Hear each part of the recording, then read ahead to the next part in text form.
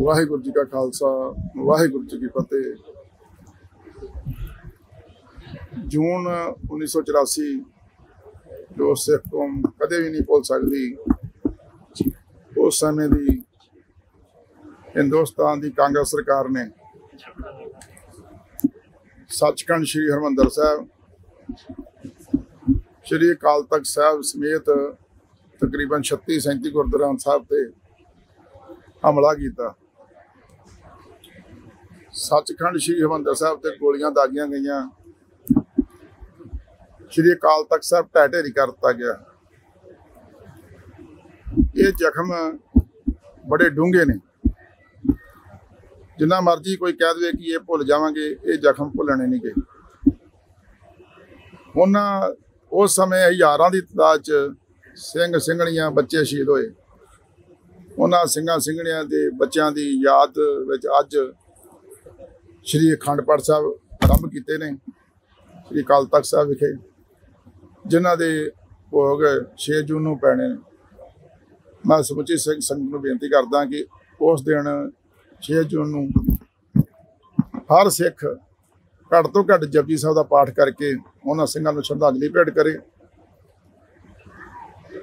ਇਹ ਸ਼ਾਇਦ ਭੁੱਲਣਾ ਬਹੁਤ ਸੰਭਵ ਜਿਹੜਾ ਇਹ ਘੱਲੂ ਘਰ ਆਇਆ ਜਿੰਨਾ ਮਰਜ਼ੀ ਕੋਈ ਕਹੀ ਜਾਂਦਾ ਕਿ ਇਹ ਲੰਮਾ ਸਮਾਂ ਹੋ ਗਿਆ ਜੀ, ਸਿੱਖ ਕੌਮ ਨੂੰ ਭੁੱਲ ਜਾਣਾ ਚਾਹੀਦਾ। ਪਰ ਅੱਜ ਵੀ ਜਦੋਂ ਉਹ ਸਮਾਂ ਵੇਖਦੇ ਹਾਂ, ਜਦੋਂ ਕਾਲ ਤਖਤ ਸਾਹਿਬ ਢਹਿ ਹੋਇਆ ਸੀ ਤਾਂ ਉਹ ਦ੍ਰਿਸ਼ ਮੈਂ ਅੱਖੀ ਵੇਖਿਆ, ਪਰ ਮੇਰੇ ਅੱਖਾਂ ਗੜੀ ਉਦਾਂ ਹੀ ਸੀਨ ਘੁੰਮ ਜਾਂਦਾ। ਮੈਂ ਸਮੁੱਚੀ ਸੰਗਤ ਨੂੰ ਬੇਨਤੀ ਕਰਦਾ ਕਿ ਉਸ ਦਿਨ ਆਪੋ ਆਪਣੇ ਘਰਾਂ 'ਚ ਜਪਜੀ ਸਾਹਿਬ ਦਾ ਪਾਠ ਵੀ ਕਰੋ। ਉਹਨਾਂ ਸਿੰਘਾਂ ਨੂੰ ਸ਼ਰਧਾਂਜਲੀ ਭੇਟ ਕਰੋ। ਤੇ ਗੁਰੂ ਘਰਾਂ 'ਚ ਆ ਕੇ ਸਮੁੱਚੇ ਰੂਪ 'ਚ ਅਰਦਾਸ ਬੇਨਤੀ ਕਰੋ ਕਿ ਉਹ ਸਿੰਘਾਂ ਜਿਹੜੇ ਸ਼ਹੀਦ ਹੋਏ ਨੇ, ਬੱਚੇ ਬੱਚੀਆਂ ਸ਼ਹੀਦ ਹੋਏ ਉਹਨਾਂ ਨੂੰ ਆਪਣੇ ਚਰਨਾਂ 'ਚ ਨਿਵਾਸ ਬਖਸ਼ਣ। ਵਾਹਿਗੁਰੂ ਜੀ ਕਾ ਖਾਲਸਾ। ਧੰਨ ਧੰਨ ਰਾਮਦਾਸ ਗੁਰ, ਜਿਨ ਸਿਰਿਆ ਤਨੇ ਸਵਾਰਿਆ। ਪੂਰੀ ਹੋਈ ਕਰਾਮਾਤ ਆਪ, ਸਿਰਜਣ ਹਾਰੇ ਧਾਰਿਆ। ਉਹ ਸਰਬ ਸਾਂਝੀ ਵਾਲਤਾ ਦਾ ਘਰ, ਸੱਚਖੰਡ ਸ੍ਰੀ ਹਰਿਮੰਦਰ ਸਾਹਿਬ, ਸ੍ਰੀ ਦਰਬਾਰ ਸਾਹਿਬ।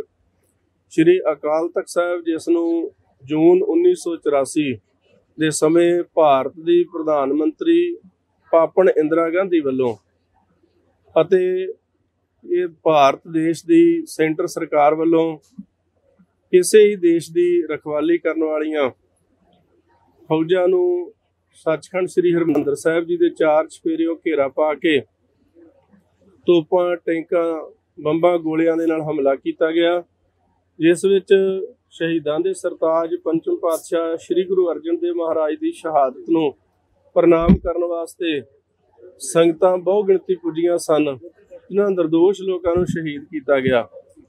ਪਰ ਉਸ ਸਮੇਂ ਜਿੱਥੇ ਸਤਿਗੁਰੂ ਸੱਚੇ ਪਾਤਸ਼ਾਹ ਮਹਾਰਾਜ ਦੇ ਅਨੰਦ ਪਿਆਰੇ ਸਿੱਖ ਸੰਤ ਗਿਆਨੀ ਜਰਨੈਲ ਸਿੰਘ ਜੀ ਖਾਲਸਾ ਪਿੰਡਰਾ ਵਾਲੇ ਤੇ ਉਹਨਾਂ ਦੀ ਰਹਿਨਮਾਈ ਹੇਠ ਮਰ ਜੀਵੜਿਆਂ ਨੇ ਸਤਿਗੁਰੂ ਸਾਹਿਬ ਜੀ ਦੇ ਪਾਵਨ ਬਚਨ ਸੋ ਜੀਵਿਆ, ਜਿਸ ਮਨ ਵਸਿਆ ਸੋਏ, ਨਾਨਕ ਅਵਰ ਨਾ ਜੀਵੇ ਕੋਏ।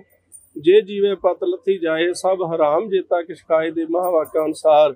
ਸਮੇਂ ਦੀ ਹਕੂਮਤ ਨੂੰ ਕੀਤੀ ਦਾ ਫਲ ਭੁਗਤਾਇਆ ਅਤੇ ਫੌਜਾਂ ਨੂੰ ਮੌਤ ਦੇ ਘਾਟ ਉਤਾਰਿਆ ਤੇ ਆਪ ਸ਼ਹੀਦੀਆਂ ਪ੍ਰਾਪਤ ਕੀਤੀਆਂ। ਤਿੰਨਾਂ ਮਹਾਨ ਸੂਰਬੀਰ ਯੋਧਿਆਂ ਦਾ ਸ਼ਹਾਦਤ ਦਾ ਦਿਨ ਘੱਲੂਕਾਰਾ ਜੋ ਕਿ ਸ਼੍ਰੋਮਣੀ ਗੁਰਦੁਆਰਾ ਪ੍ਰਬੰਧਕ ਕਮੇਟੀ ਸ੍ਰੀ ਦਰਬਾਰ ਸਾਹਿਬ, ਸ੍ਰੀ ਅਕਾਲ ਤਖਤ ਸਾਹਿਬ ਵੱਲੋਂ ਅਤੇ ਸਮੂਹ ਸਿੱਖ ਜਨਤਾ ਜਥੇਬੰਦੀਆਂ ਸੰਗਤਾਂ ਵੱਲੋਂ ਸੱਚਖੰਡ ਸ੍ਰੀ ਹਰਿਮੰਦਰ ਸਾਹਿਬ, ਸ੍ਰੀ ਅਕਾਲ ਤਖਤ ਸਾਹਿਬ ਜੀ ਵਿਖੇ ਅੱਜ ਸ੍ਰੀ ਅਖੰਡ ਪਾਠ ਸਾਹਿਬ ਆਰੰਭ ਹੋਏ ਆ। ਪਰਸੋਂ ਭੋਗ ਪੈਣਗੇ, ਜਿੱਥੇ ਗੁਰਮਤਿ ਸਮਾਗਮ ਹੋਣਗੇ, ਉੱਥੇ ਨਾਲ ਨਾਲ ਵਿਸ਼ਵ ਭਰ ਦੀਆਂ ਸੰਗਤਾਂ ਜਿਹੜੀਆਂ ਇਹ ਘੱਲੂਘਾਰਾ ਦਿਵਸ ਜਿਹੜਾ ਹੈ, ਪੂਰੇ ਵਿਸ਼ਵ ਦੇ ਵਿੱਚ ਮਨਾ ਰਹੀਆਂ ਹਨ, ਕਿਉਂਕਿ ਸਿੱਖਾਂ ਵਾਸਤੇ ਇਹ ਬਹੁਤ ਵੱਡਾ ਜਿਸ ਭਾਰਤ ਵਾਸਤੇ ਸਿੱਖਾਂ ਨੇ ਕੁਰਬਾਨੀਆਂ ਕੀਤੀਆਂ, ਜਿਸ ਦੇਸ਼ ਨੂੰ ਆਜ਼ਾਦ ਕਰਵਾਇਆ, ਉਸੇ ਦੇਸ਼ ਦੀਆਂ ਫੌਜਾਂ ਨੇ ਸ੍ਰੀ ਦਰਬਾਰ ਸਾਹਿਬ ਉੱਪਰ ਹਮਲਾ ਕਰਕੇ ਸਿੱਖਾਂ ਦੇ ਹਿਰਦਿਆਂ ਨੂੰ ਬਲੂੰਦਰਿਆ ਸੋ ਗੁਰੂ ਕੀ ਸੰਗਤ, ਸਤਿਗੁਰੂ ਸਾਹਿਬ ਕਿਰਪਾ ਕਰਨ, ਸਮੁੱਚੀਆਂ ਸਿੱਖ ਸੰਸਥਾਵਾਂ, ਜਥੇਬੰਦੀਆਂ, ਸਿੱਖ ਕੌਮ ਇੱਕ ਨਿਸ਼ਾਨ ਸਾਹਿਬ ਥੱਲੇ ਇਕੱਠੇ ਹੋ ਕੇ ਅਕਾਲ ਪੁਰਖ ਪ੍ਰਮਾਤਮਾ ਵਾਹਿਗੁਰੂ ਦੇ ਚਰਨਾਂ ਦਾ ਓਟ ਆਸਰਾ ਲੈਂਦੇ ਹੋਏ ਆਪਣੇ ਹੱਕ ਲੈਣ ਵਾਸਤੇ ਅਤੇ ਸਤਿਗੁਰੂ ਸੱਚੇ ਪਾਤਸ਼ਾਹ ਮਹਾਰਾਜ ਦੇ ਦਰ ਘਰ ਦਾ ਪ੍ਰਚਾਰ, ਪ੍ਰਸਾਰ ਕਰਨ ਵਾਸਤੇ ਜੋ ਕਿ ਗੁਰੂ ਅੱਗੇ ਅਰਦਾਸ ਕਰੀਏ, ਵਾਹਿਗੁਰੂ ਜੀ ਕਾ ਖਾਲਸਾ, ਵਾਹਿਗੁਰੂ ਜੀ ਕੀ ਫਤਿਹ।